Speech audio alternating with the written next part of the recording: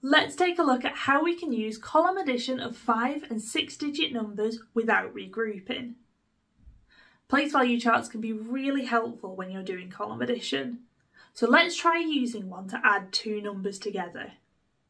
Using a place value chart and some place value counters, can you represent 342,654 and 23,243? Your place value chart should look something like this now. Can you use your place value chart to find the total of these numbers? Your answer should be 365,897. Well done if you got it right. Now let's take a look at how this can help us with column addition. When you write your addition like this, each column represents the ones, tens, hundreds, thousands, ten thousands, and hundred thousands, just like it does in the place value chart. In the same way that we found the total number of counters in each column, we can find the total of each column by adding the digits together. When you're using column addition, always start in the column on the right, which is the ones column here. That'll become more important when we move on to column addition with regrouping. Let's try another one now. Using the skills that you just practiced, can you use a place value chart to represent these two numbers? Your place value chart should look like this. Now, can you use this to help you find the total of these numbers using column addition? Write the calculation as a column addition now and see if you can solve it. Did you use your place value chart to help you find the total of each column? Your answer is 885,957. Now it's time for a final challenge. How many solutions can you find to this problem? Try to find at least three different numbers which could total 946,828. How many did you find? There are lots of solutions to this problem, but the key is to make sure that the total of each column is correct. If you need to take a look at anything in this video again, remember that you can rewind or rewatch at any time. If you're happy with column addition without regrouping, then why not take a look at our next video, which is column addition with regrouping. This video is going to be all about how to do column addition with regrouping. You should already be confident on how to do column addition without regrouping, but if you need a recap, then take a look at our video all about that first. Let's try one together to start with. Can you use your place value chart and counters to represent 542,468 plus 354,216 and write it as a column addition. Your place value chart should look like this and your column addition should look like this. Have a look at your ones column now. How many ones are there altogether? There are 14 ones in this column, but we can't have more than 9 in one column.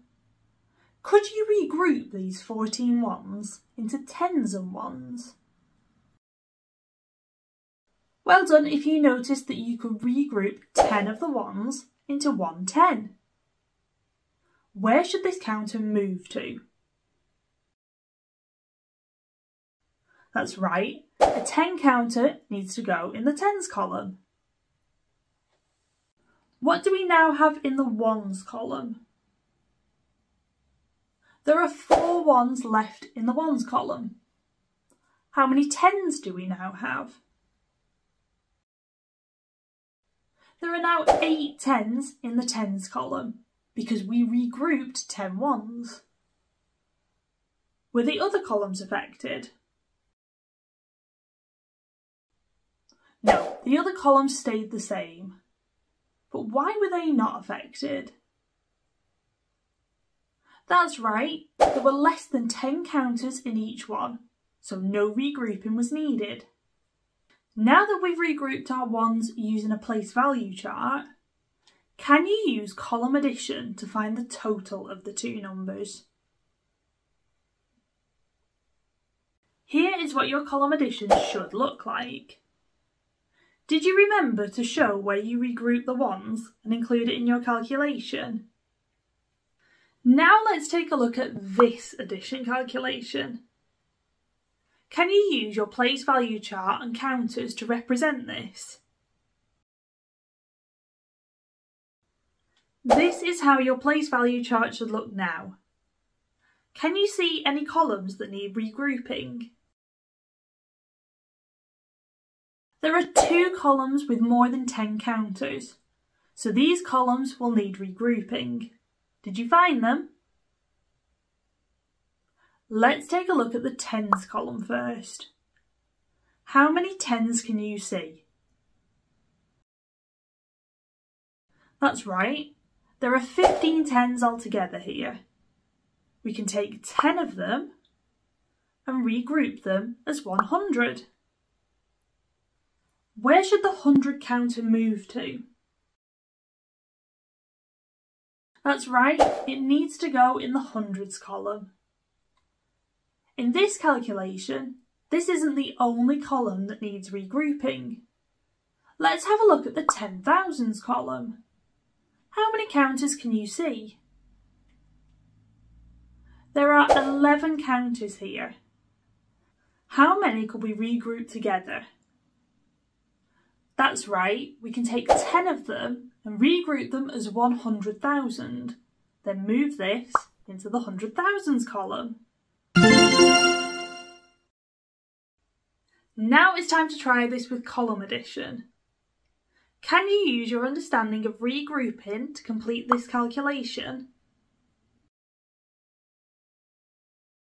Your answer should be 716,955. It's time for one last challenge. Have a look at this calculation. Can you find the missing numbers? Why not even time yourself to see how quickly you could do it?